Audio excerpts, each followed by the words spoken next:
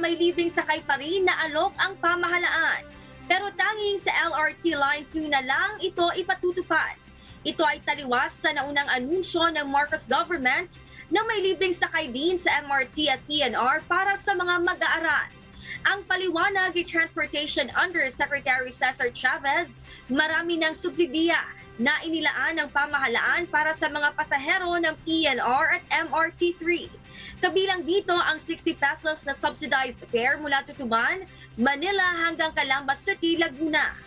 Malaking bawas ito kung ikukumpara sa 362 pesos na aktwal na pamasahe.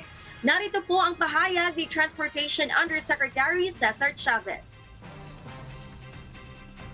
nagsalita ng presidente at uh, natanggap na rin namin ang uh, memorandum from the Office of the Cabinet Secretary uh, to implement such. LRT Line 2, libreng sakay.